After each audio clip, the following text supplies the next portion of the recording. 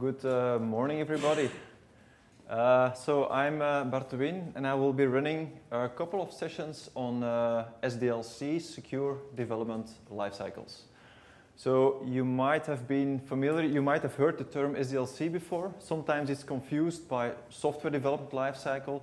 They tend to give it different names. Sometimes we hear SDL, uh, sometimes we hear SSDL. It's all related to the same software. We hear uh, the term. Sometimes we hear the term software assurance. It's all linked to the same topic: uh, building secure software.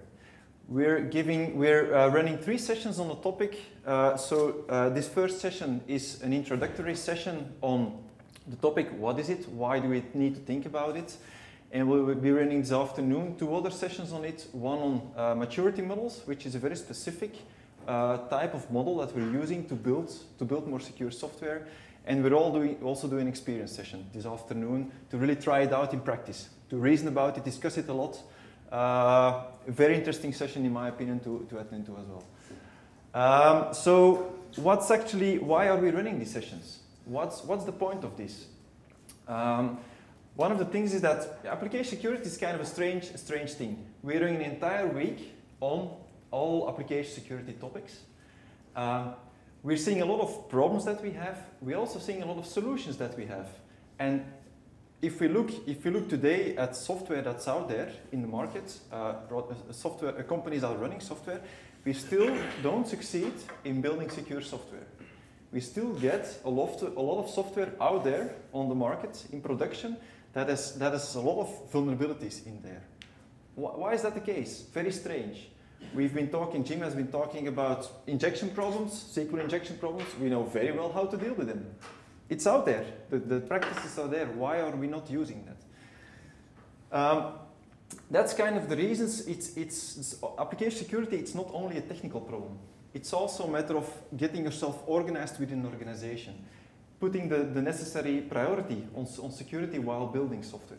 And that's kind of the idea behind these SDLC models getting your organized, getting your organization organized such that you can spend sufficient time and you can do necessary activities to make sure that the end result, the software get, that get out of the life cycle, has sufficient security properties built in.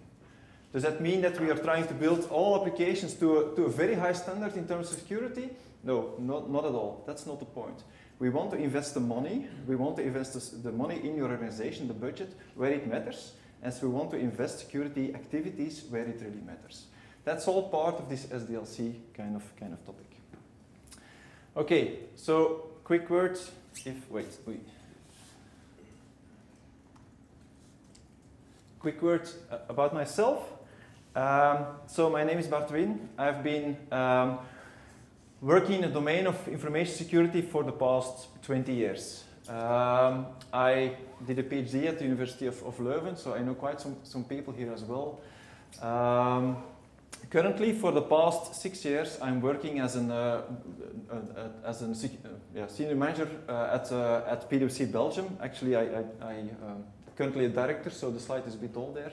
but where but where I'm responsible for all the services related to application security or application quality in general. So what we do, we do a lot of testing of software, uh, architecture reviews, code reviews, penetration testing, but we also qu work quite a lot with, uh, with organization on the topic of, of software development life cycles. And there you really see that the companies are really struggling with what, are, what should we be doing? Uh, what are peers doing? What are the best things that we should be doing in the current, in the current circumstances? And so we're doing quite a lot of uh, projects on, on, uh, with, with organizations on that as well. Um, I'm also the co-leader of the SAMM project. I don't know if you're familiar with SAMM. It's one of the software assurance models. And actually, it's a model that we'll be discussing this afternoon. Uh, so if you're interested in that, you want to know more, uh, please join the session then. Uh, but it's one of the, the more important, I would say, maturity models out there for building secure software. And actually, um, we're going to release new versions of SAMM in the very near future. I was kind of hoping that it would be released for today, so over the past weekend, but we didn't succeed. But it will be for the coming week or, or two weeks or so. So it will be very, very, very nearby. Um, you have also my contact uh, information there below. If you want to contact me with some discussions, questions, don't hesitate. Uh, okay. um, maybe I would like to first quickly ask your um, like role in the organization, just to get an, an idea. Uh, what, what is your role in the organizations that you that you're working? Who in the in the in the room is uh, is developing software, actually coding software? Kind of five, five, six people. Okay. Are there any architects in the room? Okay, some of them, some of the same people. Um, testers? Any software testers? No testers in the room. Uh, people in working operations, maybe? Operations? Okay. Okay, okay, perfect. Any people working for secu the security department itself in organization? Okay, okay, kind of four. Okay, and who did I miss? Any any other roles? What what roles? Analysts maybe or other roles? Uh, I'm kind of team leader. Team leader, okay, yeah. For for development teams, that is. Development or or configuration of, of packages. So Yeah. Configuration is uh, custom development. Yeah, yeah, yeah, yeah. Okay, and others? Did I miss other roles? Uh, yeah, in governance. Governance. Okay, okay, Not specifically security. Okay, perfect. So we have a very mixed audience. That's that's great. Then we can have a lot of uh, interesting discussions uh, as well. Uh, that's uh, also one of the things I want to mention. This point, this, these sessions can be are the most interesting for you if they're interactive. I think I will. I have a lot of material that I will teach you. That I will try to teach you. But whatever problems that you're facing in the organization, whatever questions that pop your mind, don't hesitate. It's uh, it's interesting discussions. So and you will learn the most when we when we can discuss about these things. Otherwise, it's just uh, a lot of theory that that might be uh, a bit more a bit less interesting. Uh, so for the session, for this session, I will be discussing uh, mostly about why are we, why do we need these, mature, these software development life cycles, and also about process models. Process models that are, that are being used today to build software within organizations. And I want to talk about uh, more like traditional process models, like typically waterfall development. What can you do during, uh, in terms of waterfall development? How can you augment the waterfall life cycles? But also in terms of agile development. More and more companies are doing agile. Uh, so how can we deal with security for agile, agile uh, development uh, structures? And that's, that will be kind of the, the, the, the, the main part of the, of the presentation. I will be ending with uh, like a set of good practices that you might take into account within your organization, within your daily practices that might be interesting to also discuss or debate a bit about. Okay, that's kind of the outline of this, uh, of, of this session. So let's uh, think about why do we need these uh, secure development life cycles. First thing I want to mention or I want to discuss is the we're, we're kind of basically uh, in, a, in a quite difficult situation in, in the sense that uh, the software that we're building is always getting more and more complex and business is always getting more and more demanding in terms of software that we're building. eh? We have to build software. If you would compare the software complexity now with 20 or 30 years ago, you would see that it's in order two more complex or to magnitude more complex than the software that we used to build like 30 years ago. So the complexity has risen dramatically, which also means that it's much more difficult to understand what software is doing and to secure it. That's one of the, one of the first points. Secondly, we're building, we're using a lot of technology stacks out there. If you're uh, doing software development nowadays, if you do it in uh, .NET or Java, it's not a single technology stack anymore. There's a lot of libraries, there's a lot of things going on, which make it a lot, which make it really complex to build this software in a secure way. Um, Ruby, Ruby on Rails, which I heard was some, uh, quite some uh, discussion as well in the first session. Um, but the point is, for, uh, for jQuery, Ajax-like applications, we don't really understand anymore what's going on as a developer. The so software libraries are so complex, the software frameworks are so complex that we don't really know very well what's going on anymore. Which also means that as a developer, to get something secure, it's very, very difficult. As an attacker, to attack an application, that's way more, that's way more easier. Because what they will do is they will try to find one hole in the application, whether it be in the functionality or in the underlying frameworks. They will try to find one hole. So in that sense, also building secure software is much more complex than attacking software. That's one of the core problems that, we, that we're having today. Uh, software also is getting more and more connected. We, we are not building systems again uh, anymore in isolation. It's connected to all sorts of places, different organizations, different systems, we have to open up all our software, which also makes it more difficult to kind of close it down, of course. Um, um, and we always have to build uh, software um, better, faster, and more adaptable. So the, the business will always demand us to build better software, better quality. We'll have to make sure that it's more adaptable because if they think about a new requirement tomorrow, we'll have to be able to change our software. Changing software in terms of security is not so easy because you have to redo some analysis there to make sure that it's, it's, kind of controlled. Um, and we have to build it faster. You get less and less money, and the time to market is always, is always decreasing. So you have to build software uh, more rapidly. Which brings us to an. Um, oh, Ah, there is some, some text missing there. Sorry about that. Hmm, okay. Uh, but it's kind of the, the fact that um, building ap- applications which um, are more adaptable, uh, you have to build better applications faster with, with less and less money. It's kind of an equation that does not hold anymore. Development teams are more and more under pressure to build their software, and there's less and less room to think about what the software does. Is it really under control? What can we do with it? And it's, it's kind of a difficult situation. Um, we, uh, there are a lot of studies and statistics out there. Um, um, the majority of vulnerabilities today is at the application level. Is it 75%? Is it 70%? I, I don't know. There's a lot of statistics out there. This, is, uh, this, this comes from a Gartner report that, that we're measuring also the number of vulnerabilities out there. If you look at uh, different statistics, they will differ a bit, but the endpoint will always be the same. The core situation or the core problem today in terms of security is at the application level, not at the network or the, or the other levels, at the application level. So we have to think, we have to, we have to, yeah, we have to do something about it. Personally, I think, and you might, you might disagree, but personally, I think that we're losing kind of the, the, the, the security battle. If we're building software, it's getting more and more difficult to, to the, the, the situation is deteriorate, deteriorating rather than the improving. In my opinion, we're building more and more software that, that's more and more vulnerable rather than the opposite. So we have to kind of find, find a way to, to, to shift that balance, to, to, reverse the, to revert that balance. SDLC might be a way to do that, but I want to warn you beforehand, it's not an easy thing either. It's a, it's a, it's a complex, challenging endeavor uh, that, you, that you're going through. okay, um, you're probably familiar with this symbol. Um, the, the reason why I kind of like it, it was actually used by uh, Gary McGraw in one of his books, uh, Building Security In. I don't know if you're familiar with the books. It's, it's one of the, an interesting book on, on, on software development in general. But the, the, the reason why I like this symbol is it because it's, it symbolizes very much the, the, the, the white hat and the black hat side of, of security. Uh, and it's very important, in my opinion, for building software as well. While building software, you always have to think about, okay, how do you build software? But at the same time, how do you attack software?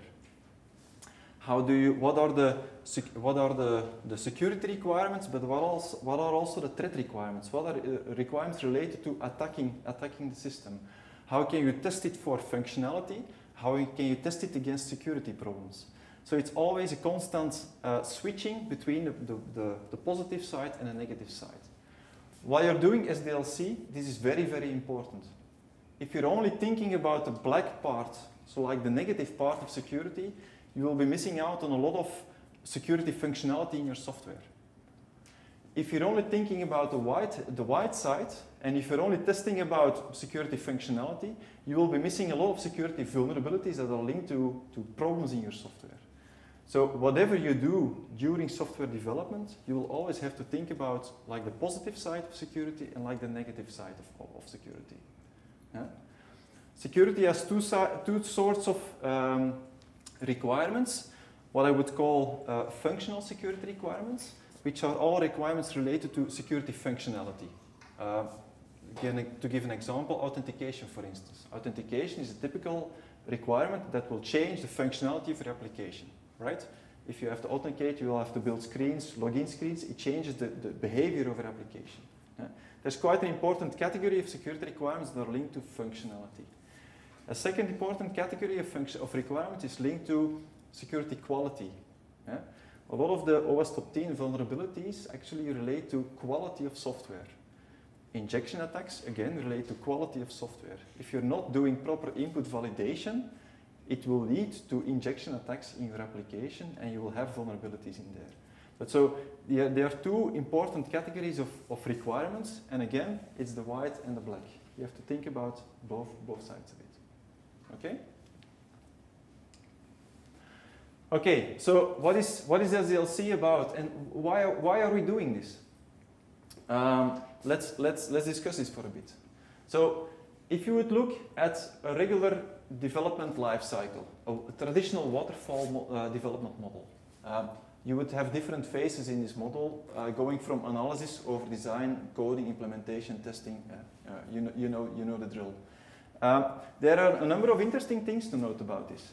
First of all, the type of require the type of security problems that are introduced in software.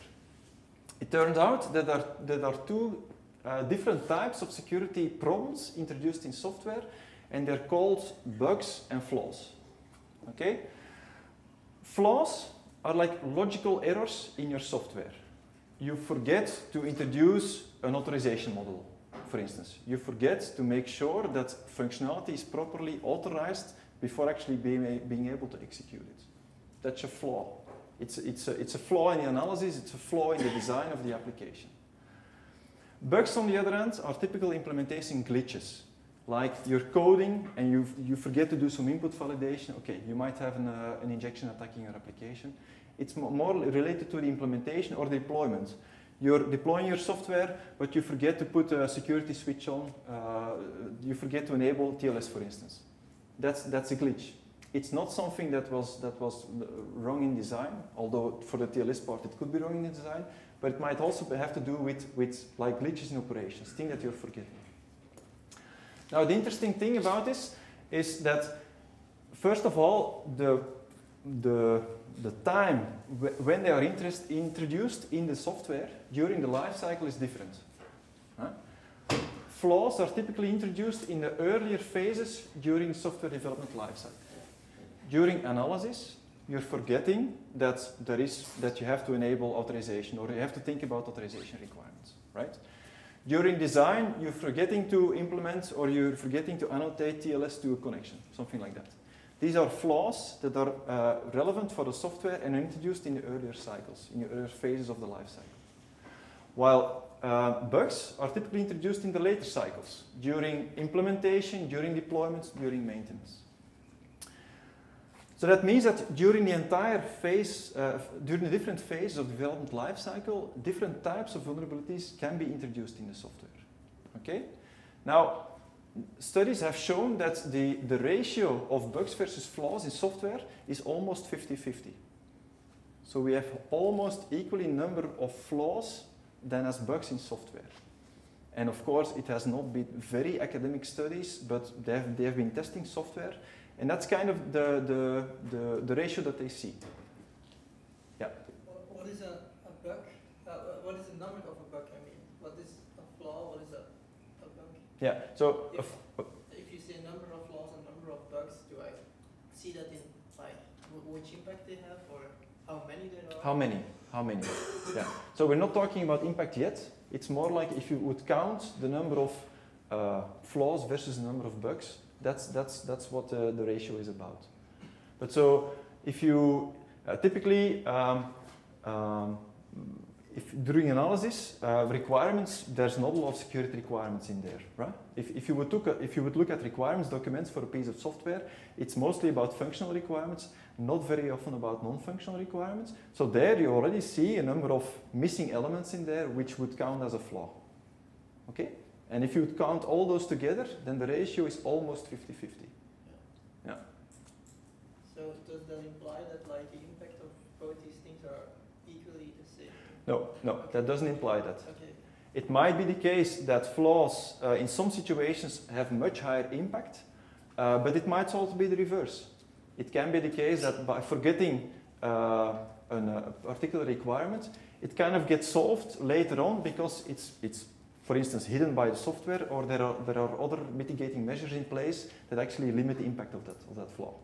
So it can be, it can be, it can go to uh, both ways. Okay. Okay. Uh, Now, so that's one first interesting thing to note. The ratio is almost 50-50, right?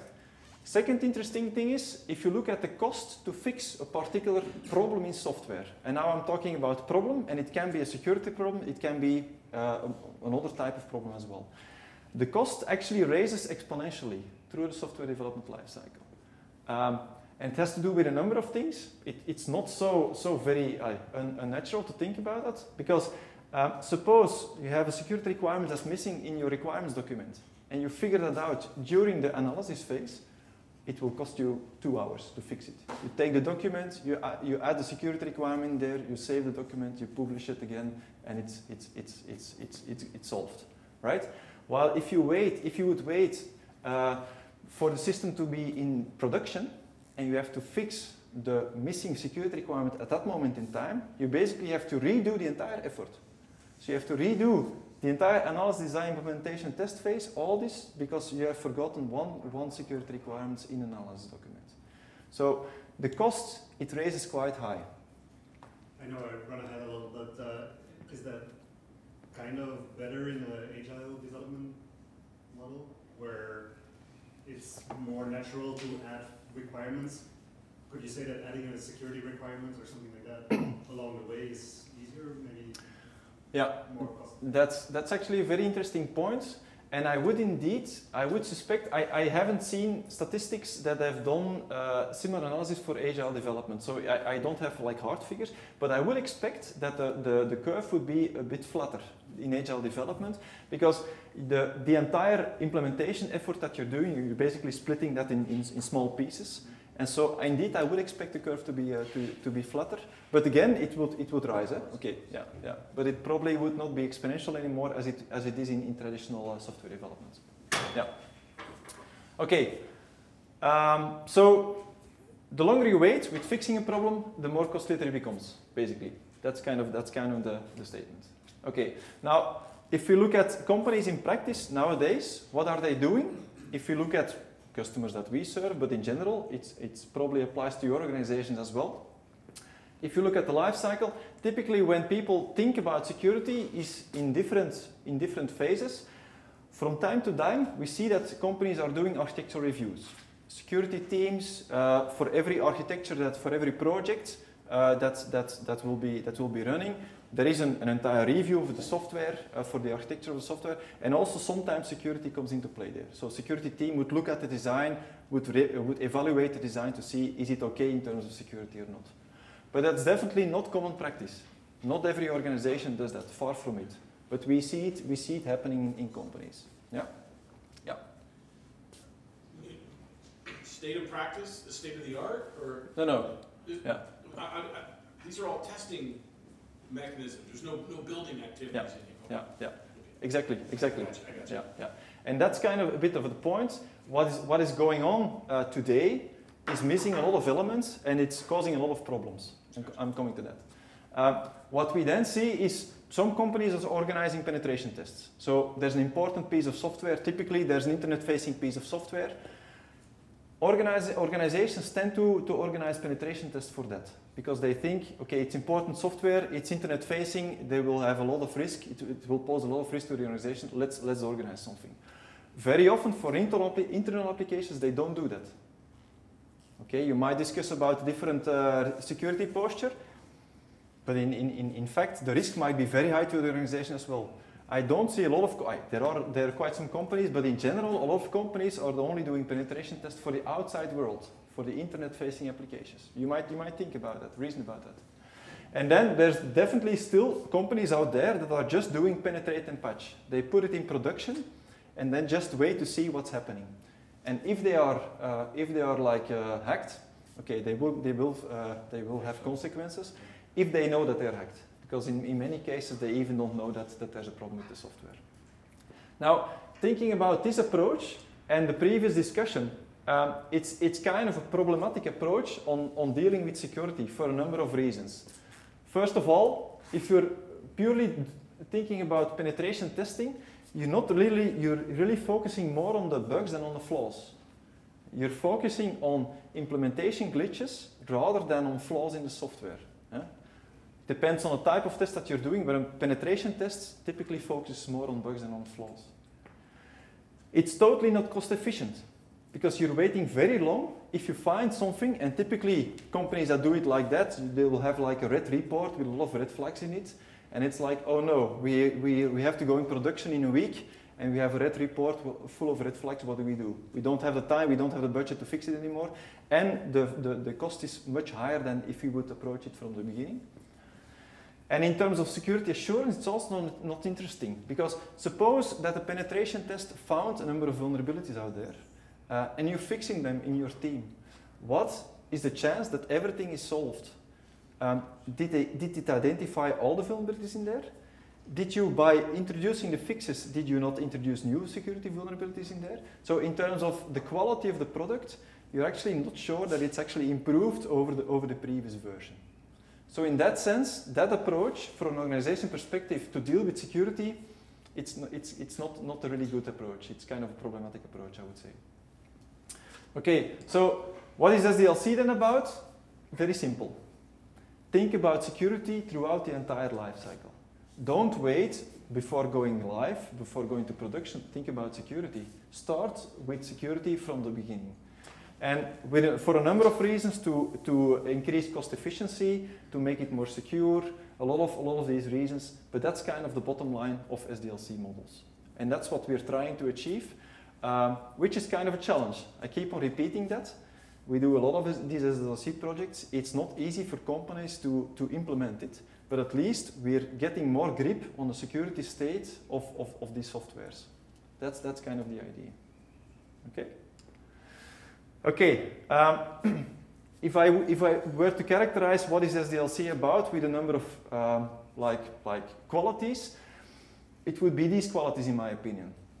First of all, you want to make sure that the security in your applications is consistent. If you're building a piece of software today and you would build it again tomorrow, you would hope to end up with the same security quality in that piece of software. If you build a piece of software today by team A and you would build another piece of software uh, today by team B, you would again hope to end up with a, with a similar piece of security quality in that software. It's about consistency. That's one of the first things. If we don't have that, we, don't, we are not able to control our software in our, in our company. It's about making it more efficient. Making it more efficient typically in terms of cost effectiveness, also in terms of uh, the, time, the, the, uh, the time to market, the time needed to build a piece of software. If for every security problem that you're, that, you're, that you're dealing with, have to always rethink about what are we going to do about this, it will take you a lot of time. And chances are quite likely that you're not going to have the ideal solutions. So if we're able to standardize somehow the solutions that we have to put in place in our software, it will cost you, it will cost you less and it will be more efficient in terms of development. Yeah.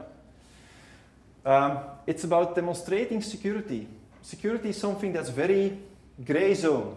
People are always, you typically would get the question, is your software secure? And it would be very difficult to answer that. First of all, what does secure mean? Very difficult question. Second of all, how can you measure whether it's secure? An SDLC should be able to give you some arguments to tell you, okay, this, this security, this software, piece of software is according to that standard rating, scoring that kind of security level, somehow. You should be able to measure it some, to some extent. Otherwise, it's very difficult to, uh, to, to, discuss. Um, it should be uh, standards compliant whatever standards that there are, often in a company you have a lot of standards that you should be taking into account, but also out there there's a lot of regulations and standards that typically apply to your organizations. You should, be, you should make sure that you at least know what these standards are and whether you should take them into account or not, right? Okay? Uh, and then a final word, very important, it should be risk in line with risk. It should be risk-based. If you're developing 100 applications, don't try to make every application as secure as possible because it will, will, cost you a lot, a lot of money. There will be no return on investment, and after a couple of years, the, the, the, the CEOs of the companies will tell you, "Are you, uh, what are you doing? You're burning budget, and we're we're having over over secured applications." So try to make this, the activities that you do in line with the risk that, is, that the software is facing.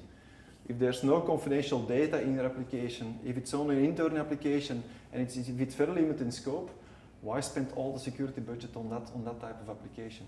So think about where are we putting our money for these applications. These SDLC models do that, right? We'll come back to that. Okay. Um, having said that, um, there is an, uh, a mental model that I always, always try to use when thinking about what is an organization doing in terms of, uh, in terms of uh, software security, and it consists of si six cornerstones. Um, first cornerstone is what people do you have in your organization, and to what extent do they know what they have to do in terms of security? Who is doing the, software, the, the analysis of the software? And is that person, responsible of also identifying security requirements? Or should it be a different person? Who is actually responsible of putting the secure uh, implementation? Is it the developers? Is it other people? Who is doing the testing? What are the responsibilities of people? And are they sufficiently knowledgeable and trained to do that? Very important. It's not always clear in organizations. When you would ask in your organization who is doing the security testing, then the development team typically would say, well, we think it's the testing team that does that. And if you would ask to the testing team, they say, no, it should be a security team because we're not, we're not doing uh, security testing. And if you would, ask, yep, okay. Is that model easy to outsource? Because companies tend to like to, uh, to outsource a lot of, a lot of things, especially uh, profiles or roles that are not needed on a daily basis. Um, Yeah, yeah. um, I think it's, it, it can be outsourced uh, to some extent, uh, but outsourcing will only work if the, the, the outsourcee, so the people coming into the company, will work on a, on a daily basis with the organization. So only doing, asking activities per activity uh, in an outsourced model, that's very difficult to achieve, I think. So if you don't have the competencies in-house, you might hire them, but then make sure that these people work inside the context, because it will only work if they understand how the organization is running, and that will require presence, it will require continued uh, working together on the, on, on, on, the floor, basically. I think it, I, I think it can be, uh, but within, within certain uh, yeah, constrained conditions. Yeah. Okay. Second thing is the process the process, how are you going to build software? Are you using waterfall? Are you using agile? Are you using very, some very exotic process to build software? But how are you going to change that process to make sure that software assurance or the security is taken into account? How can you make sure that just before production go live, you're, you're sufficiently convinced that the security level is appropriate to that piece of software? How are you going to change that process? And it can be about what activities are you going to do for extra, uh, extra deliverables that you might, that you might produce, um, control gates that you put in place. So a piece of software does not pass the architecture control gate it hasn't, if it hasn't been uh, reviewed thoroughly for, for security, for instance. These kind of control gates that you might put in place. Um, it's also about knowledge. Uh, making sure that people have this, the, this, the sufficient standardization guidelines in place that they know what to do. Yeah? Um, if every developer for himself has to figure out what to do uh, to avoid injection attacks, chances are very high that you will not eradicate, eradicate the, the injection attacks altogether in your, in, your, in your software. Make sure that you work on standardization, make sure that people know and that, that, they, that they know what to do.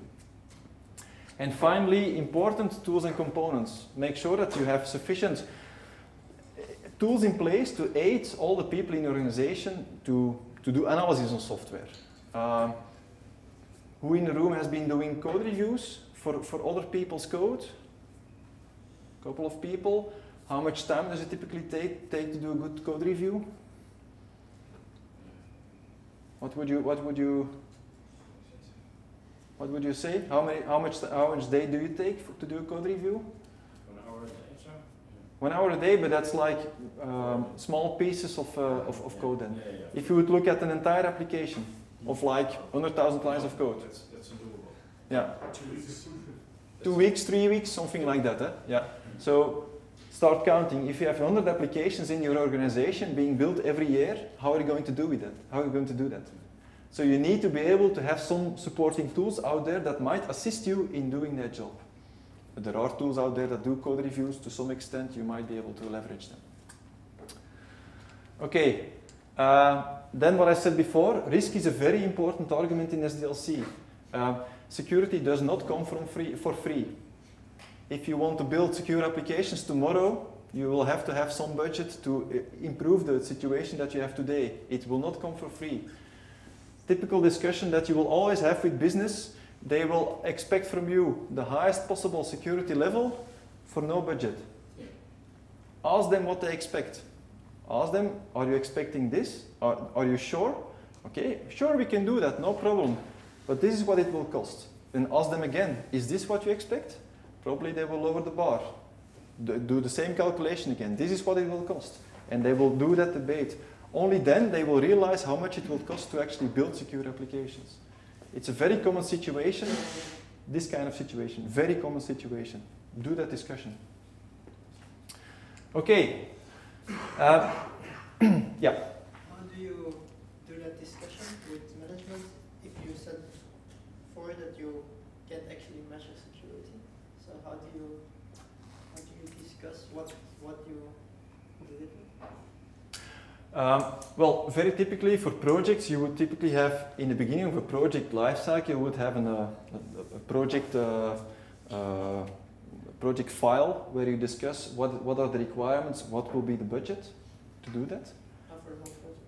for the for the whole project. eh? It's a bit different for agile development, but even there for agile development, you can do these discussions, um, and we'll be come back, we'll come back to that for agile development as well.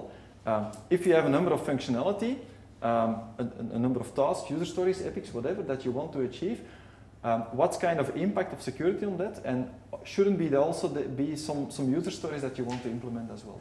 And what do these cost? How many days do you need to implement that user story? And then again, you end up in, in, in that discussion. Yeah. Um, I think for agile development, I'm, I'm running ahead here. Um, building secure applications is a bit more difficult than it is for, for waterfall development, but I'm happy to, to, to do discussion uh, later in the sessions if you don't agree. But yeah, I love, I, there's a lot of slides that, that I can uh, that, that we can discuss to, to, to see why it's, it's a bit more difficult.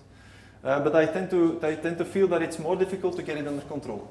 Uh, and I've, I've, I've worked at both sides basically, both, for both the waterfall and the agile development sides. Okay, so is it um, is it uh, important? What can we gain? Well, yes, we can we can win. Um, we have we have seen that. Um, companies that are, that are doing a proper SDLC are actually uh, quite significantly decrease the number of vulnerabilities that they have in the software. Of course, at a cost. It always comes at a cost, but they, they succeed in decreasing. That's already a good, a good statement. Uh, there are also statements that, that say that um, it's, uh, it's actually getting you a return on investment. So whatever penny you invest in security, in the long run, you will get it back. These discussions are a bit more difficult. We've seen papers about it, we've seen studies about it. I can show you papers that discuss about it. It's not always clear. It's not always like hard-cut facts, but, but there, are, there are arguments out there. Okay, um, to kind of wrap up this part of the, of the session, uh, there are a lot of, a lot of uh, statistics out there. Microsoft has shown some statistics with their SDL, uh, and actually they kind of uh, they kind of succeed quite well in reducing the number of vulnerabilities or high vulnerabilities out there. So for instance, this was the browser. It's already old statistics, eh, 2007. Uh, these are the browser, Internet uh, 6 and 7, for instance. They've been doing their Microsoft SDL, and you see like dropping the dropping uh, vulnerabilities out there. Same for SQL Server. Uh, they had a very significant decrease of number of vulnerabilities in their SQL Server. Uh, and same for um, the Windows operating system. Same same arguments there. But Microsoft has been investing quite a lot in this SDL, but also succeed in reducing the number of vulnerabilities. Okay. Yeah. Okay. I think they had to. but Yeah, they had to indeed. Yeah. yeah. Otherwise, they would have gone uh, bankrupt, I think. But okay, to give you an overview, uh, last last slide for this uh, for this introduction. To give you an overview, um, these are a number of in- initiatives that you that, that are there in the domain, that are out there that you might uh, look at if you if you're interested in this. You can basically categorize them in, in three different parts. Uh, first of all, you have a part that's that's really linked to uh, standard. Um, wait, eh, let's see if there's. Okay, there's a part that you can link to standard development models, and these are more like waterfall type of development models. And so there's Microsoft SDL, NIST has a model, OWASP has a model, SafeCode, there's a number of these models, Gartner, they have, there's a number of models out there. They're kind of heavily oriented towards waterfall development, right? For agile development, at this point in time today, we don't have a lot of good standard models that tell us what to do. We have a lot of talks, discussions, presentations. We don't have a lot of standard models yet. There are some things, I will be discussing some things, but it's not that we as a community know what to do yet. Um, second thing is we have a number of maturity models out there. I will be discussing one, uh, these maturity models in the second session, right?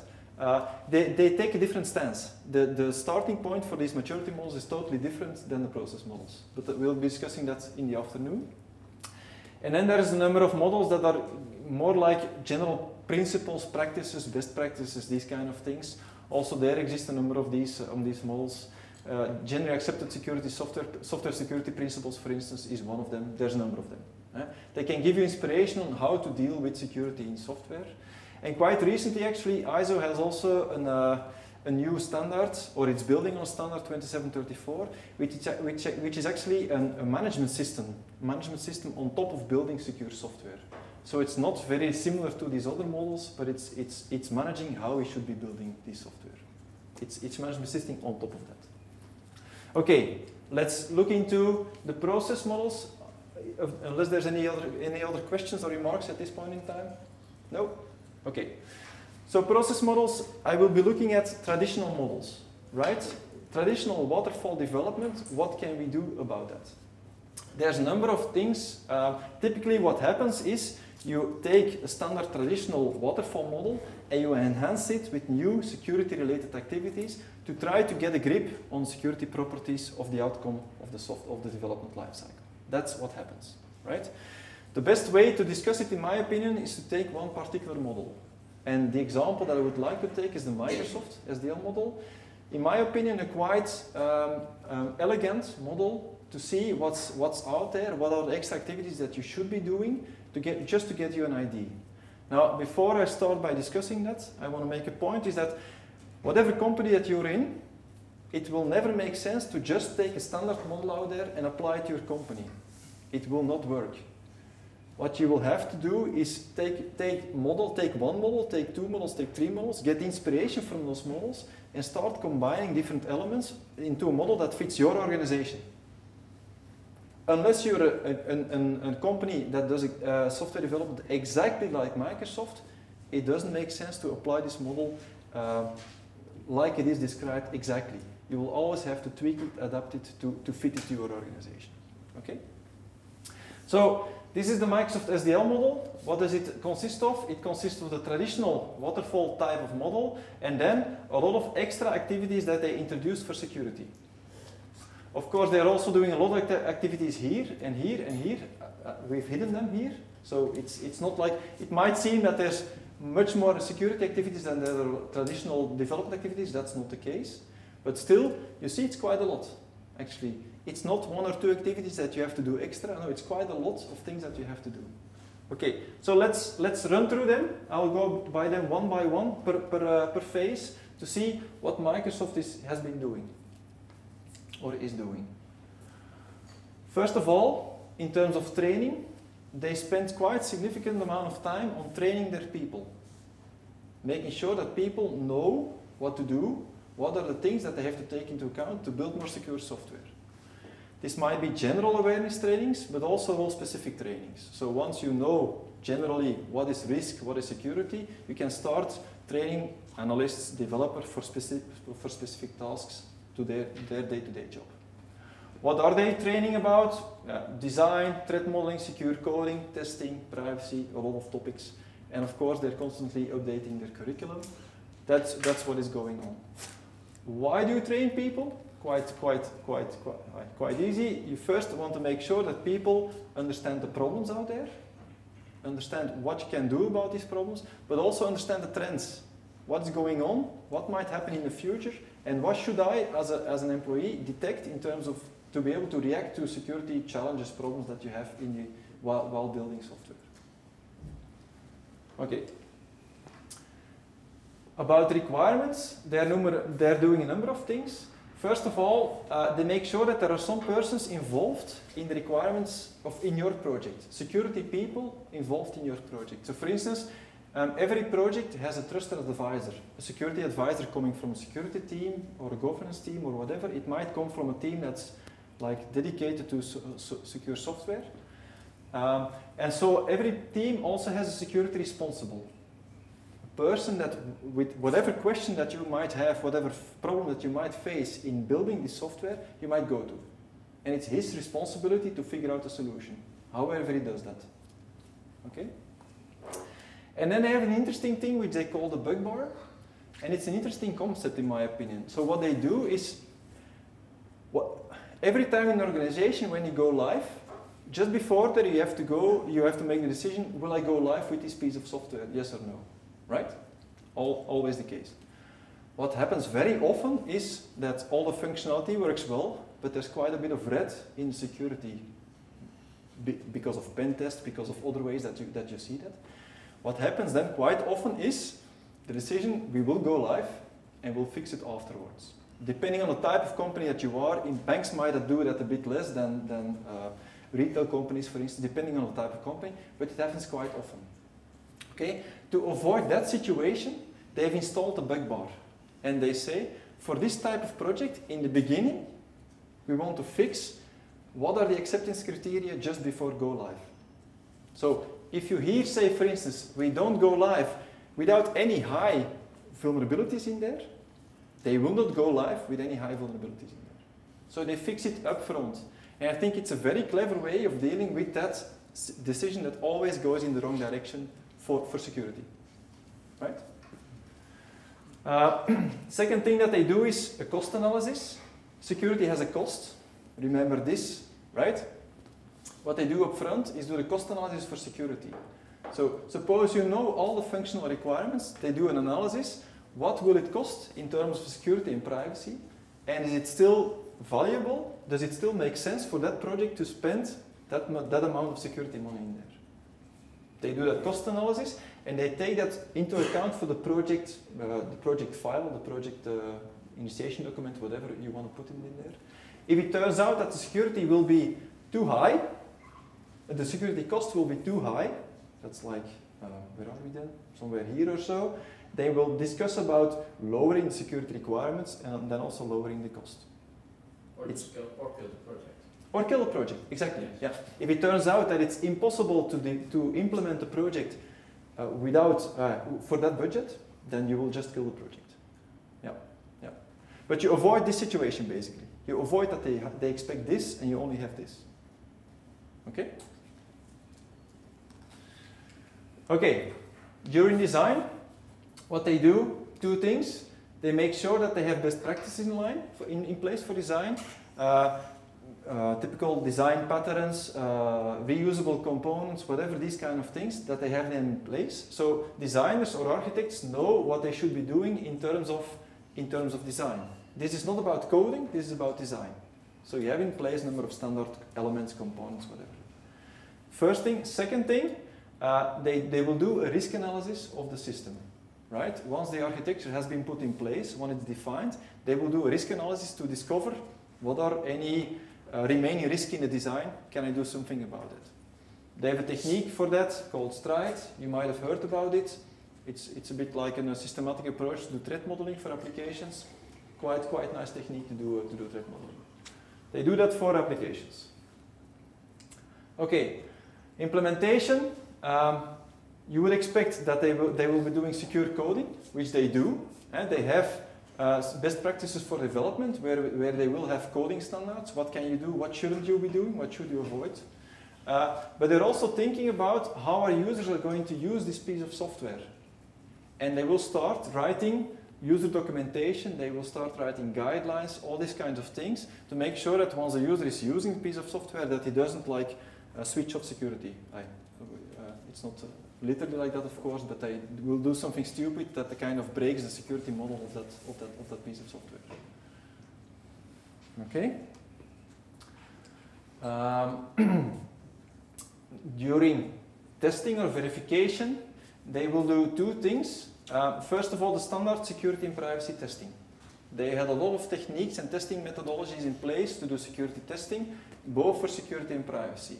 Eh? You might be thinking about unit, unit testing, uh, user testing. One of the things that they do, for instance, quite frequently is fuzzing. Fuzzing, they throw a lot of garbage at the application and, and to see, and they just see where it, does it break, where does it crash. Because if it crashes, then you know that you have to do something about it. You have, you have uncovered the vulnerability out there. Um, a lot of the, the, the, the jailbreaks and other uh, problems in, in Microsoft or, or in, in, Windows, for instance, operating systems are detected through fuzzing. Also, the hackers use the fuzzing techniques quite often to try to discover uh, vulnerabilities out there. Microsoft itself does it as well, to just try to find as many as possible the vulnerabilities or the problems in the software. And then a second interesting th thing, in my opinion, is the security push. What they do is, um, again, typically the problem of time. You don't have enough time to spend on, on, software, on security during the software development lifecycle. They reserve an amount of time to spend on security. So what they do, they will stop regular development. They will reserve like two or three weeks to work on nothing else than security, to increase the security posture or properties of, of your piece of software. That's what they call the security push, just to make sure that every project has enough time to work on security problems. Interesting concept. You don't see that very often in organizations. Quite interesting in my opinion. Okay, then um, the, in the release phase, um, and this, for instance, might not, might not at all be relevant for you, but they typically do a public pre-release, like a beta review, these kind of things. So they kind of release the software in beta mode and ask people to test it. And whatever problems come in, come in again, they will revisit, see if it's really a problem, can we fix it somehow. It, this, for instance, might not be relevant at all to you as an organization. That's how they organize it. At the same time, they start preparing for incident response. So once the software does go live and once it's out there, whatever problem that comes in, they should be able to quickly react on every, on every problem that comes in. So they prepare that during the pre-release phase to make sure that they have a team, that they have the procedures in place, responsibilities in place, and that, uh, that they have people to make sure that they can react on, on everything that comes in. Okay?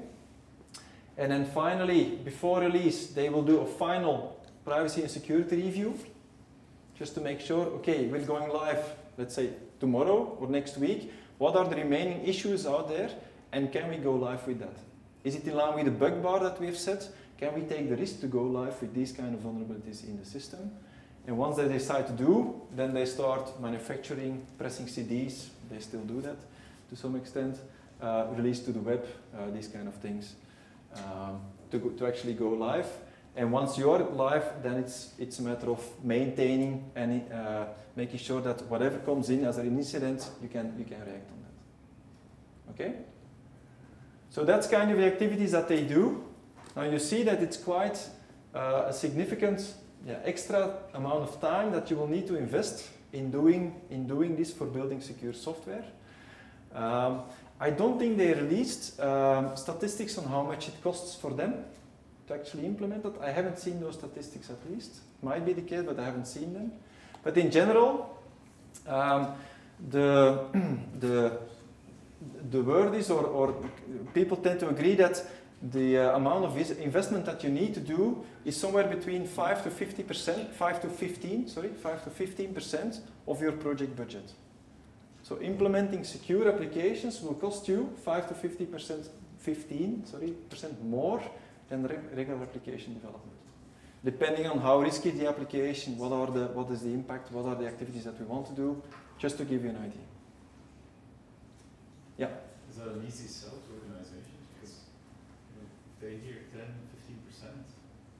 15%, yeah. suddenly... Yeah. It's, it's not an easy sell, um, but there are a number of, um, the, the, the, situation is changing, and I think actually um, in Europe we're uh, if you would compare it to the States, we're running a bit behind because here we still have to convince quite a lot the, the higher management that it's, it's, or the business that it's important to do. I think in the United States, it's, the, the arguments are a bit easier because everybody tends to agree that we have to do it. Easy sell, um, there's a number of arguments to be made. Uh, first of all, um, more and more companies start to see that as a competitive advantage. So they think they can make the arguments um, to their customers, we're doing it securely, so we, have, we are better than the competition, so people will buy our products. That's starting to get into the minds of people in the organization. Not everywhere, but it's one of the arguments that plays. So far, in my experience, compliance has been a much stronger figure. Yeah, compliance is the second one. There's a number of arguments to be made. Compliance is the second one, in my opinion. So every all the regulations that you have to comply with, uh, upcoming GDPR, uh, these kind of privacy regulations. Uh, banks have their own uh, regulations that they have to comply with. A lot of regulations are in place that the organization would comply with, and also that is an argument to do to do this. Uh, so is it in general an easy sell? No, it isn't. But there are definitely arguments to be made. Uh, that you can use based on the context, based on return on investment to some extent, based on a number of these things. I'll be discussing this a bit also in one of the afternoon sessions, how to, how to defend the case to, uh, to, to higher management. Okay? Okay, so as a wrap up here, um, the example that, that we've discussed here, it's, an, uh, it's a mature model. Microsoft has been running this since 2000, so more than 15 years now.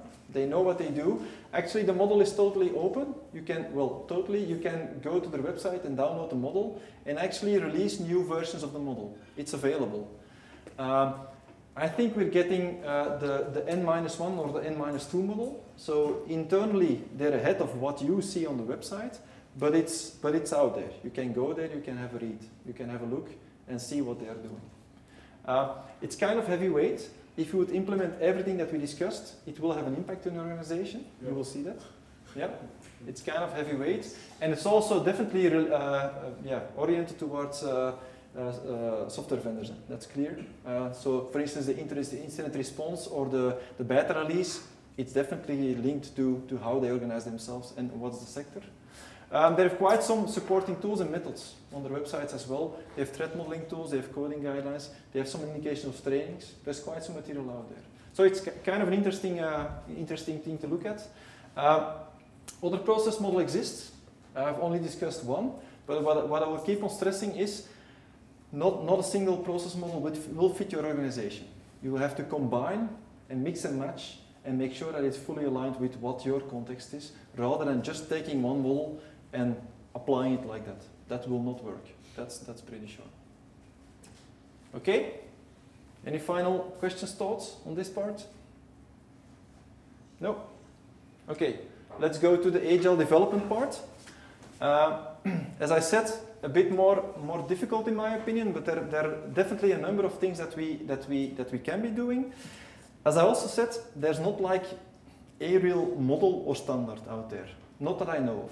Might exist, I'm not aware of it. Uh, what you do see on conferences that are linked to software or security or secure software development, you typically see a lot of talks about it.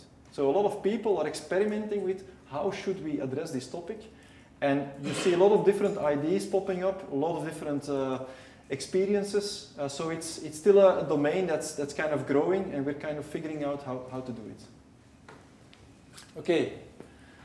Um, so a small introduction on agile. Does everybody know what agile development is? Yeah. Okay. Not spending time there. Okay. Let's go uh, further. Okay. Okay. Let's stay here. Then let's let's let's have a quick look here. So if you look at agile development, agile development is all about speed and flexibility.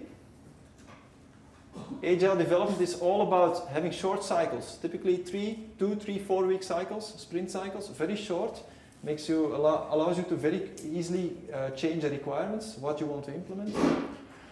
It typically, although it's not meant for that, but it typically produ- produces not a lot of documentation. Go to agile development teams, ask what their architectural document is. Chances are that you will not find it. You might not find it for traditional documents, uh, waterfall cycles either, but the chances are higher, in my opinion, for agile development that you won't find it. Uh, and it's typically functional driven. Why? Because um, the, the product owner typically decides what to do in the next sprint, and the product owner typically cares a lot about functionality. So it's very functionality driven. Although it shouldn't be the case, in reality, in practice, it, it is often like that. Okay, now if you look at security, on the other hand, security is all about stability and rigor. Trying to do full analysis on what is the software, can I find some extra security hole, is there some vulnerability out there, but you have to do that on stable product.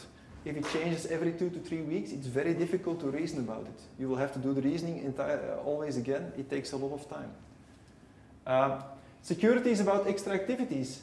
We've seen the SDL model. How many act extra activities did we have there? 15, 20?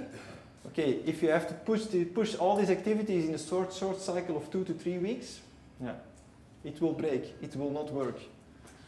Um, you will have to do a lot of analysis, but you typically don't have a lot of documentation. Sure, you can go look into all the source code that you have, but all the other documents, and you can go look in the, pro in product backlog for the requirements. But that's, that's typically most of the important documents or, or things that are out there. Um, and security is typically a non-functional requirement, that goes without saying. So you kind of feel the mismatch. Yep. Don't we, I mean, the first three points that you make about security, aren't these points mainly based on the fact that we built the SDLC for the waterfall system? I mean, I agree with the non-functional for sure. I mean, Yeah. it stays non-functional, but the other ones are, I mean, why is it stable and rig- why these extra activities? I think we should like look and how can we implement it into the agile development. Yeah, cycle. Very good point, and that's also what we should be doing. Um, now, the, the fact remains that if you want to have guarantees, some assurance in a piece of software being uh, okay in terms of security, you'll have to do some analysis. And how you build that analysis into the agile lifecycle, that's a different, that's a different fact, or that's a different discussion. But still, you will have to do the analysis somehow. The analysis will not disappear since you're doing agile. No, but, um, but then we go from the fact that the analysis happens outside the development team Yeah. by someone else. Yeah. I mean, Yeah, yeah, no, indeed. I fully agree. I fully, it's about that discussion, I think. How can we organize ourselves and how can we give sufficient responsibility to the development team to make sure that the end result in terms of quality is more or less the same? That's the challenge that we have. Are we there yet? I don't think so, but that's, that's what, we, that, what we should be aiming for, exactly. Yeah.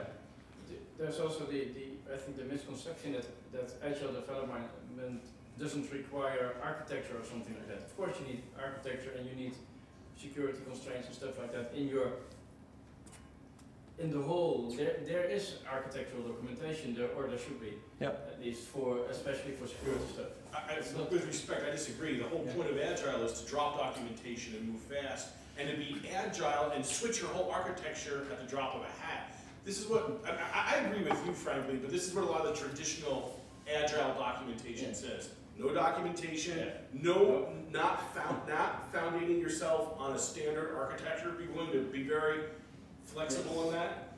That's what the documentation in agile says, but the reality is, I think. reality is you, you will need some, some kind of, of, of thought or vision somewhere to, to be able to do, to do security or to develop software at all. I, I concur. I agree. I I think, but that's, that's more the leanish side of the, the agile. Uh, I think it, I, it is also a, a discussion about agile in general. I mean, no Yeah. one knows exactly how to implement it. Every company implements it Right. differently. Yeah. And I mean, in what you said before, it's important. I think putting constraints on your development yeah. teams is important. I mean, you can't just let them go and say, okay, you're completely agile, do whatever you want. No, you, there need to be some Yeah. yeah. instruction. And if I may, the trend is actually away from agile to DevOps now, Mhm. which is even less documentation, Yeah. faster, and less time for strong architecture. So the trend is really going away from that, which is a problem. It, it, yes, it's all by itself somewhere, I, I'm afraid. I agree.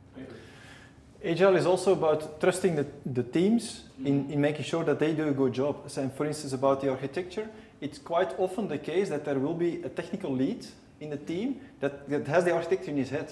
And that if, eh, whenever there's an important decision to be, make, to be made, he will do it based on the information that he has in his head. But that also means that we don't have the documentation anymore.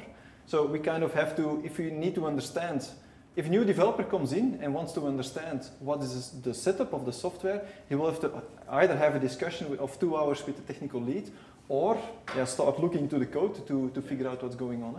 That's why we actually do have an architecture document, Yeah. documentation in our project.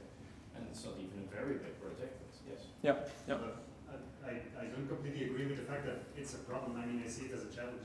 I mean, it's a problem because we started doing security on a, on a legacy kind of building software. I mean, on the waterfall system. And, Yeah. and now it's a challenge to adapt To kind of- yeah, to- exactly, exactly. Yeah, yeah.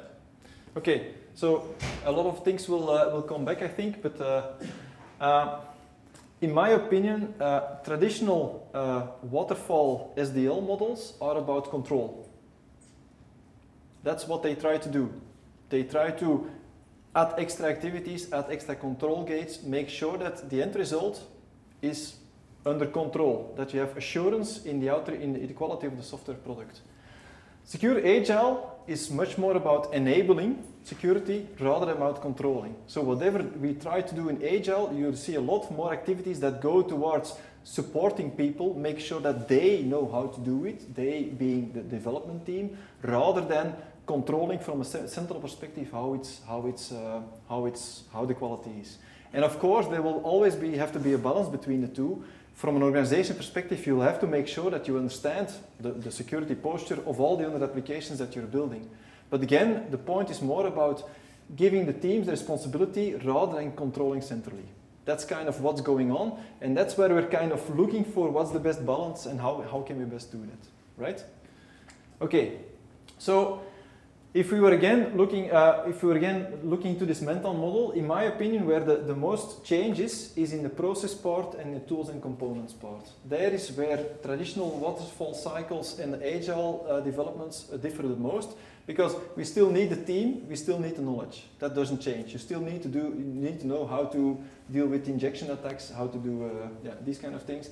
And the, the people, okay, you will give them more responsibilities, but the people will still stay there, and you will have to train them. These, yeah. So the, the differences are there. So let's let's have some uh, have some discussion. I have a number of yeah. Okay, sorry about that. I have a number of slides there. Um, so the idea. So what what should be the general principles about secure agile, securing agile? Try to make security a natural part of the process, but but don't don't overdo. I've I've seen quite a number of um, testimonials of people that try to uh, impose security models on on agile development companies, and the end result is very often that it doesn't scale. They try to be in every planning meeting. They try to be in every um, demonstration meeting. They try to be in every uh, um, retrospective. And if you have like an entire company, three people that, that have to do all this work, doesn't scale anymore. So you have to figure out ways of what do you want to do yourself and what does the, the team uh, needs to do and find a good balance there that scales. And that's really about this don't overdo it. Try to implement the security ideas into the process, but make sure that, you, uh, that the central team doesn't have to do everything, but it will, because it will not work. It's, it's not sustainable. Um, for all the activities that, that, that you do, make sure that they're small activities. Make, make sure that they can run very frequently, iter iteratively, uh, in process while the people are doing it. Not extra activities that they have to do in a sprint. No, while they're doing their activity in sprint, make sure that, that it's kind of supported by security somehow. Yeah. So make sure that they're lightweight, in phase, and iterative. Uh, and then think about preventive and detective controls, right? Detective controls being uh, do a source code scan by a, by a SAST tool, for instance. That would be detective control. Preventive control would rather be build, build secure coding guidelines. That's detective. That's detective A, detective control to put in place. Um, still, you might think about being involved in key moments, moments in the process. The product planning, for instance, is a very important moment in agile development. If you miss that boat for security, it's basically game over, more or less. You have to make sure that you have that you're somehow involved in that project planning meeting in some way. Does it have to be a central team that's involved? No, not at all. It can be like a security person that's in the team, but at least that security, the security philosophy or idea is involved in that project planning meeting. Otherwise, you're getting nowhere. Um, of course, make sure that you're leveraging on, on agile concepts. Think, uh, talk about user stories, talk about the backlog, talk about respect, retrospective, talk about these things where agile is built on, the fundamental things of agile. If you cannot succeed in doing that, in leveraging those, again, you will not get it. You won't get this, uh, this security into these processes. Um, one problem that I also see uh, often made, also for traditional development life cycles, by the way, is trying to do an, uh, a, a, one big uh, new security model or security development life cycle put in place. It's an error to do it for traditional life cycles. It's even more of an error to do it for agile life cycles. Don't try the, the, the, the most successful teams and companies that I've seen are the companies that are trying to, do, to build very small steps at a time. And if one step works very well, and you have it under control for different teams, think about one small next step. And do it like that. Otherwise, you will not get there. You will fail. Okay, so let's have a look at some of these um, uh, agile concepts that we, might, that we might be leveraging. First of all, requirements, user stories. What do we do there? So we have to figure out a way to get security requirements into user stories, right? If we are not succeeding that, your requirement will not be taken in a planning meeting, and if it's not taken in a planning meeting, there will be no security in the product. That's what happened. So we'll have to figure out a way how to get there. Um, so will we have to build user stories for security? Now there are different ways to do that. I'll, I'll come back to that. Um, but um, make sure that if you're defining user stories, that people know that it's, that it's easy to reason about, that people know what it is, and think about reusable user stories.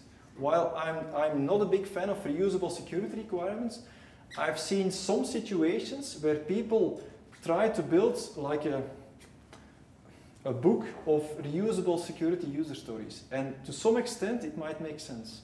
If you're talking about compliance regulations, if we have privacy regulation, it might make sense to define one or two user stories linked to privacy that can always be applied to these systems.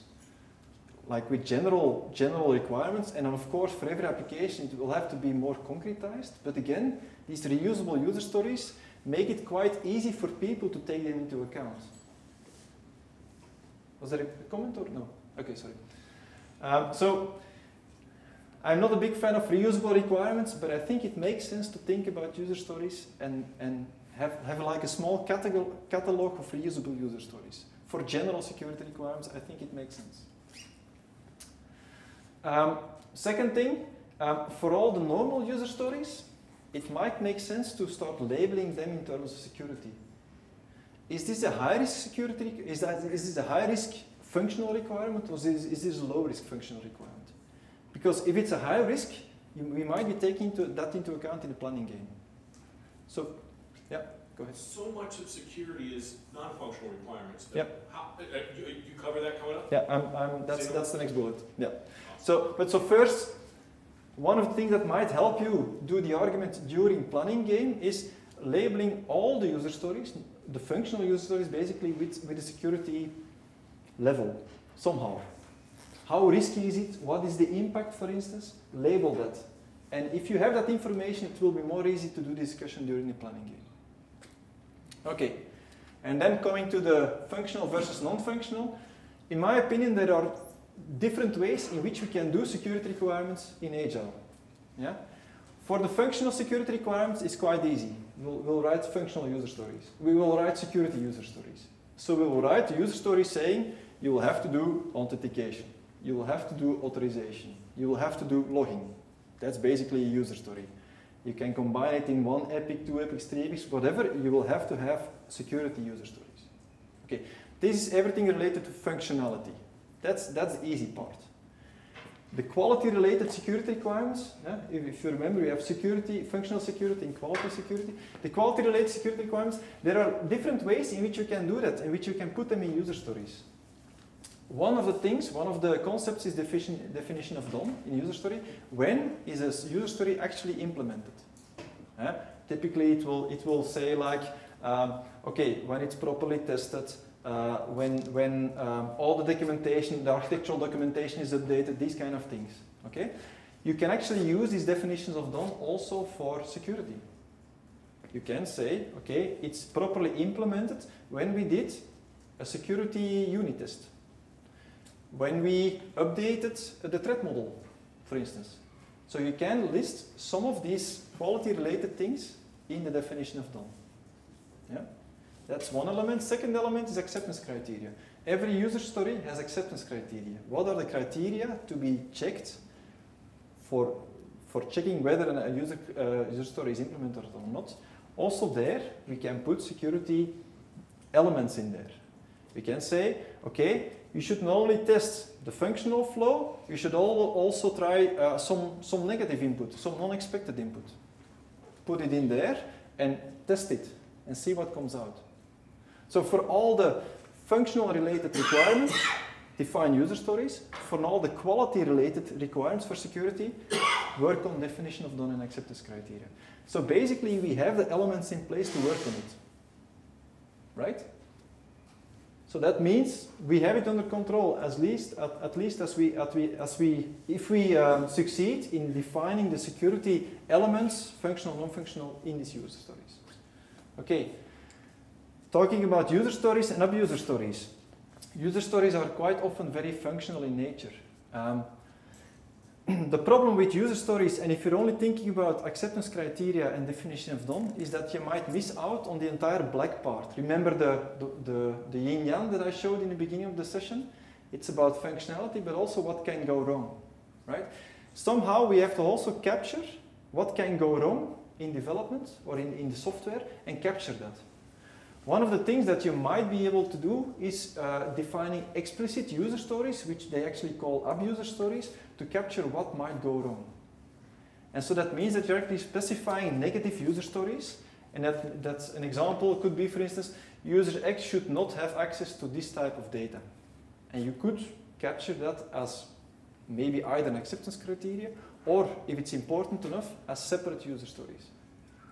But then you're not thinking about functionality, you're explicitly thinking about what might go wrong and I want to avoid that. And make that explicit as well. Okay? I see some frowning here and there. If you're not convinced, uh, raise it. This is tough. It's very tough. It's really tough to get this Yeah. right. I, I totally agree. Um, but we have to think about it because if we, if we don't think about what, what should be avoided, what should be avoided in software and we don't specify that somewhere, yeah, you're basically missing out on a lot of, uh, a lot of risks in the software. So, yeah. and if I may, this is not something we have to go through every project. I can envision taking something like ASVS, look at all the non-functional requirements, they're pretty much standard for any kind of software, and make a generic list of abuser stories that we can drop into any project. Having to re rethink this every time for some quad is, is tough. So I, I I would love to be able to have some kind of resource that I can just drop in. Yeah, yeah. And I think that's very doable. Yeah, You I, don't, you don't like it. no, I don't like it. I don't like it. Yeah, it, it takes away from billable hours. No, no, that's That- that- that's, That's. That's totally not the point. Totally not the point. but I'm happy to do the discussion as well. Uh, uh, the, uh, the, the value of abuser stories, in my opinion, is about abuser stories that are tailored to the software. If you're, I've, I've seen throwing a lot of, um, and actually I made the argument myself in a previous slide. eh? We can make this reusable. eh? So I, I, I follow the argument. But having tons of um, reusable abuser stories for every software the same, what will happen after in the first in the first uh, development lifecycle, they will look at it. In the second development uh, iteration, sprint or whatever, they will say, yeah, we've seen that. In a third, like, okay, not interested anymore. So if they're not applied to your software at hand, and if they're not concrete enough, it, it, it won't fly in my opinion. And that's the reason why I don't like it. But can't you make it more concrete with like clear questions like, okay, do we have user data stored in this application? Okay, in that case, we need these specific user stories that say, well, we have to how we store this data or something like that, or Okay, something yeah, like. Okay. sure. Then But that- still have standards. Yeah, user stories. But then but that means that you will always have to define concrete user stories based on, on, that, on that situation. You, you, so you first say, okay, we have to have some questions Um, and if we know, okay, there's like confidential, confidential data in there, we, have we have to have a user story that kind of looks like that, but you have to make it more concrete, right? Or, or not?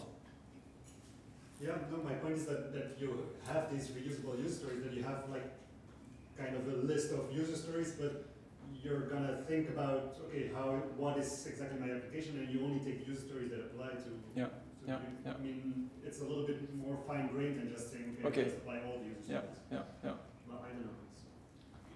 Here's my concern. When, when I take a user story for something generic like SQL injection that wants to cover the whole software, Yeah. the more concrete I make it, the, the, the less it's going to apply to the whole system. So I start giving you really good user stories that explains avoiding SQL injection. That, that's going to be, the, the better the story is, the more it's specific to one scenario, and the less it's going to uh, provide a good story Yeah. that has coverage across the whole system. Yeah, yeah. So that, that, that's my, that's my concerns. I don't have it figured out in my head. Yeah, I, I, I, again, I don't follow that, but uh, happy to discuss. The reason why I don't follow this because a user story, you have to be able to implement it, right? If you have a lot of user stories that are generic and that stay on the backlog just as advice, I don't think they are good user stories. And then, the- and then as a developer, when I read this uh, very concrete, specific user story, Mhm. that has me, that gets me to go fix SQL injection for that story. It doesn't encourage me to fix it for the system. Yeah, but And if you want enough user stories that are concrete to cover the whole system, you'll need like a thousand user stories just to cover SQL injection. Yeah, but then I would rather advise to work with these kind of uh, concepts Gotcha. because they have the power to de- actually support in those quality criteria rather than defining separate user stories for that. Yeah, yeah. yeah. My opinion is that uh, the, the view stories uh, have a similarity or an analogy with blacklist. And to me, blacklisting is not working uh, in practice. Uh, so I definitely believe in, in stories that are that have a, a, a whitelist character. Mm. So therefore, Yeah. I think Yeah. I rather believe in implementation uh, from a positive point of view rather than Yeah. from a blacklist. Yeah. The, I, I totally agree. I totally agree. I, I only think, and I'm, I'm, I'm, yeah, the problem is that if we're only focusing on uh, positive user stories, we're kind of missing out of an entire um, domain of what should not happen. We're always thinking about what should happen.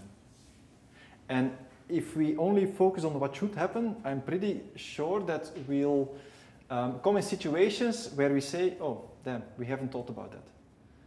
And by doing explicitly this negative analysis and making the, the high risks that we see concrete, I think we kind of support that in a bit. Now, whether you discuss that or whether you support that in uh, acceptance criteria or whether you make separate abuser stories, it's, it's a matter of philosophy, it's a matter of what, what works best in your organization. But you, you, in my opinion, you really have to explicitly think about negative security requirements and find a way to represent them.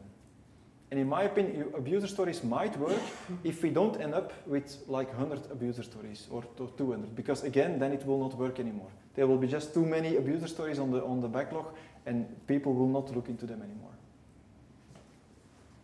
Okay? So, uh, oh, have to move on. Uh, sprint planning. Um, um, there is actually where it's where it's where it's really important, making sure that security activities are in there. Um, so if we have security user stories uh, in our backlog, we, we can we can plan them. Problem is quite often that um, product owners don't select these security user stories. Now I think there um, Microsoft has defined an interesting model. What they did is they um, kind of um, categorized the user stories into different categories, different types. User stories that must be executed every sprint, user stories that are part of the group and you have to implement one of these user stories of that group, and then user stories that you have to implement once, once for the entire project. And by doing that, I think they, you actually have some kind of leverage to make sure that security-related user stories also come in the, in the product planning. To give an example, but I have to run over it uh, because of time. Um, so for instance, every sprint security requirements, you might say, for instance, okay, uh, make sure that you mitigate against SQL injection or cross-site scripting. Uh, if you, if you compile the code, make sure that during linking, it's compiled with a particular uh, option. Uh, you have to do it every time that you build, right? Uh, these are every sprint requirements. Bucket requirements are, you have different categories, and so for instance, for every sprint from bucket A, you have to choose one. From bucket B, you have to choose one, and from bucket C, you have to choose one. Whatever you choose, it doesn't matter. Uh, it does matter, but, but it's, it's open. Um, but make sure that from every bucket you choose one, right?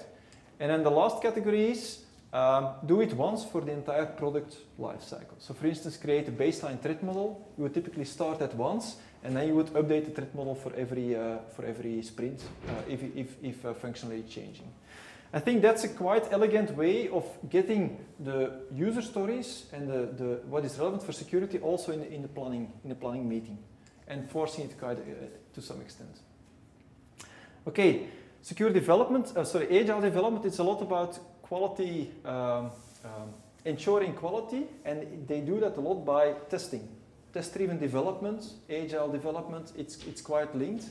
Also for security, it's relevant in the sense that there's a lot of security testing that can be done and that can be automated also to some extent during the sprints.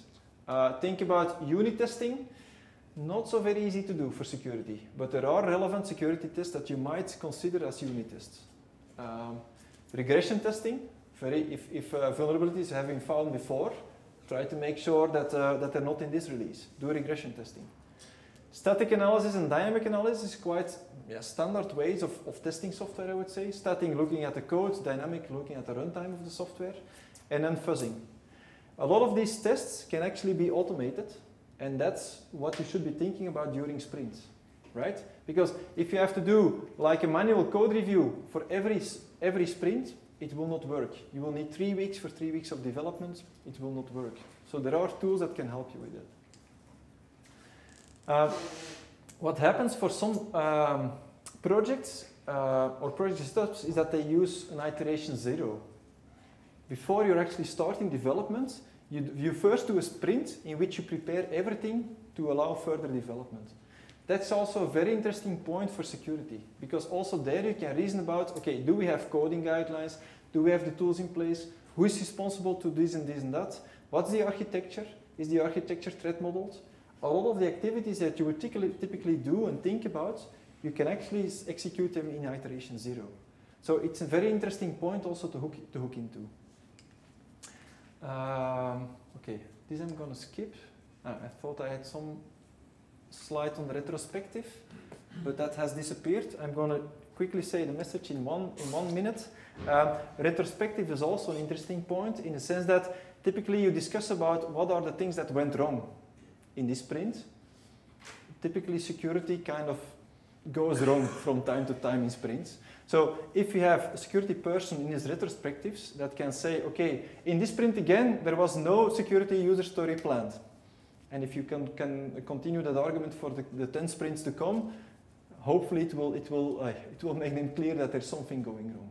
In this sprint, we needed actually a tool to support us in security testing, but we don't have tooling then at least people know that we should be working on that. So also again, retrospective is an interesting point to look into.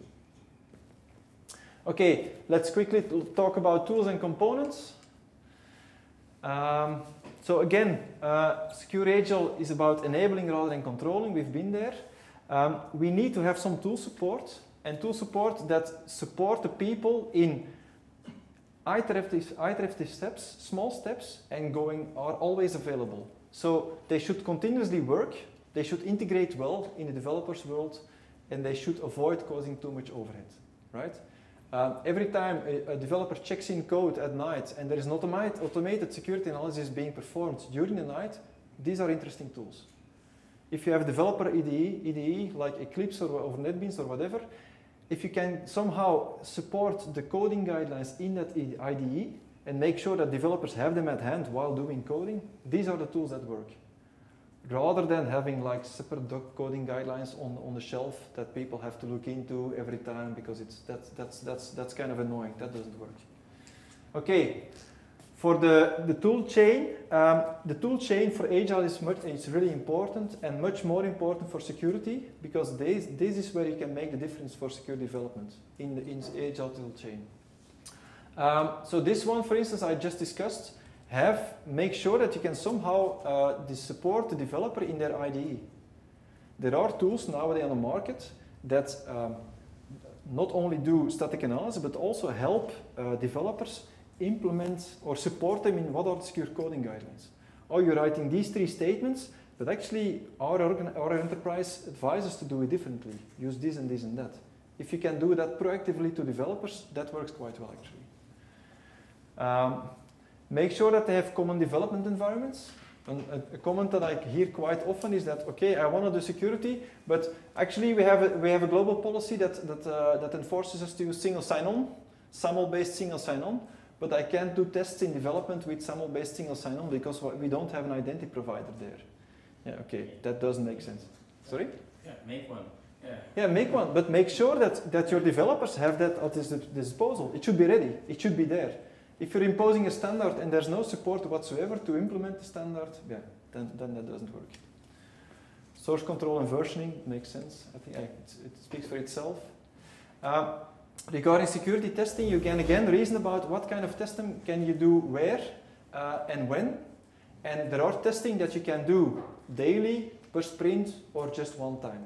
Again, think about the Microsoft bucket system, the every sprint bucket or, or, or once. You can have the same arguments for the testing. Think about what testing you can do daily, what testing you can do once, once per sprint.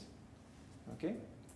Um, quite important if you're running these security testing uh, tools and you don't integrate with the tools that the agile team is using, again, it will, it will be difficult to work with. So think about how you can integrate the output of these testing tools, for instance, in the backlog. If it's automatically integrated in the backlog with some sanitization, it will be easier for the next uh, sprint planning meeting to take that into account and to see, hey, we have an issue. We have like 10 critical vulnerabilities can we, can, we, can we define a task to fix those 10 critical vulnerabilities? Right? Okay, so we have to kind of close off the meeting, the, the session, sorry. Um, secure build, make sure that you have tools in place to automatically build software and taking security properties into account, do automated code signing, do automated obfuscation.